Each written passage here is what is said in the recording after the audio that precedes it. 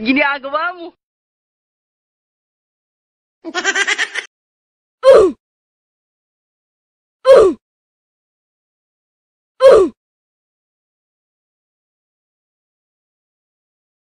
Uy, uy, sana all. A few moments later. For today's video Malodi, so ngayon Malodi napakaganda yung araw ng ngayon Malodi kasi ang lino-lino ng panahon uy, Malodi. Oh. Tingnan niyo Malodi, ang dagat Malodi, napakaganda Malodi at saka yung ang topic pala natin ngayon Malodi ay magrepin tayo mga Malodi ng malaking seal Malodi. Tingnan niyo Malodi yan aming repinan Malodi. Dahil napakaganda raw ito Malodi, ilagay sa mga misa o mga divider Malodi. Bago tayo magrepin Malodi, kumain mo tayo Malodi ng lulos, Malodi para malakas tayo Malodi.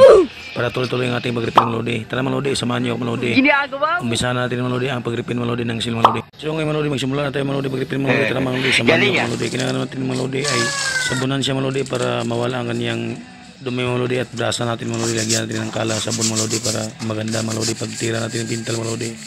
Kailangan Malodi linisin natin Malodi yung mga igi Malodi para maganda Malodi paglagay natin pintal Malodi. Ganyan lang Malodi gasa natin Malodi para mawala kanyang dumi Malodi. sana Tapos. Malodi ating ibuhat niya Malodi para pag matuyo na siya Malodi ay ating tirahan ng umura nga pintal Malodi. Kaya Malodi kaya natin ibuhat Malodi. Ito pala ang pintal gamit ko Malodi. Yan Malodi, tatlo lang pintal gamit ko Malodi. Sakto-sakto na yung Malodi sa kanya Malodi. Kabisa ito itong samurai Malodi. Tara Malodi, tirahan natin Malodi kay tuyo na Malodi. Wala na siyang tubig Malodi. Unang tira ko pala Malodi ay primer Malodi para lumikit talaga ang pintal Malodi. Primer ang dapat na Malodi, samurai Malodi. Galing Ganyan lang Malodi, magtira ng primer Malodi. Ito pala nga sila ito Malodi, eh, pinigdastuhan ko talaga Malodi. Pinalitan ko talaga ito Malodi ng pintal Malodi. Oray Malodi para makita ko Malodi kung ano siya kaganda Malodi pag ilagay sa divider o sa misa mga Uy, Malodi. uy, Kailangan naman talaga natin gumasto Malodi para makita natin Malodi kung anong ganda niya Malodi.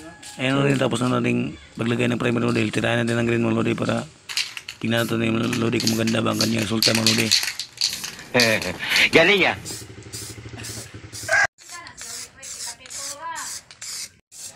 Ayan naman Lodi, napakagandang resulta niya Malodi. O, tingnan niyo Malodi, ang seal Malodi, napakaganda tingnan na Malodi. Bago sa kanyang kulong Malodi, green Malodi. O, tingnan niyo Malodi. O. Napakaganda ito Malodi pang lagay sa mga divider Malodi at sa misa Malodi. O. Kailangan niya Malodi makapal ang kanyang pintal Malodi para hindi siya basta-basta matanggal Malodi. Uy, uy, sana all. Pang souvenir ito Malodi sa divider Malodi.